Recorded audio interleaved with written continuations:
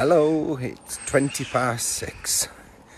It is so much harder to convince yourself to get out of bed and go for a run when you can hear that it's raining again. Never mind. Here we go. See in a bit. Right, that is it.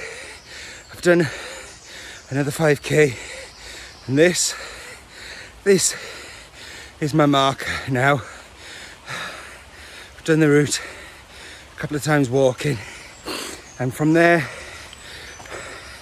down onto the field, around the field twice and back to that there marker is 5.1k, something like that. So now I've got my markers in place. Hopefully it'll be easier for me to measure my progress. So I'm sure if I could remember it, if my brain wasn't so bloody foggy, I could remember some sort of business mantra about smart, target, uh, something like specific, measurable, achievable, something like that. Anyway, just back to the house. Morning. Just back to the house for a shower and then oh, something else to do. But hey, it's rained all the way around. Dog's not bothered. To be honest, when I'm gasping for air, I'm not that bothered either. So, once again, thank you to everyone that's donated so far, and I'll see you now on Thursday.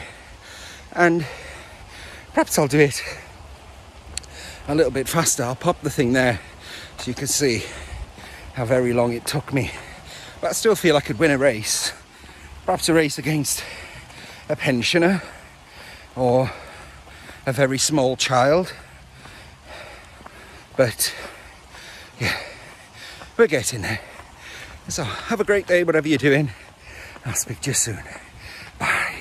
Right, so as I've just walking back from the park, just looked at my app and I've actually run 5.16k, which is further than I did last time I did 5k because that was 5.03k. So I've, um, yeah, and I managed to do it in a slightly shorter time. So I suppose if I'm objective about it, then I am getting better.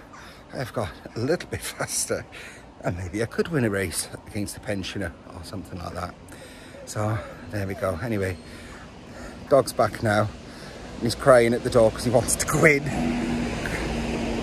So he likes to run upstairs when he's all wet dog and jump all over the bed and wake Jonathan up. And if Jonathan's not awake or is awake, then he'll go and wake William up.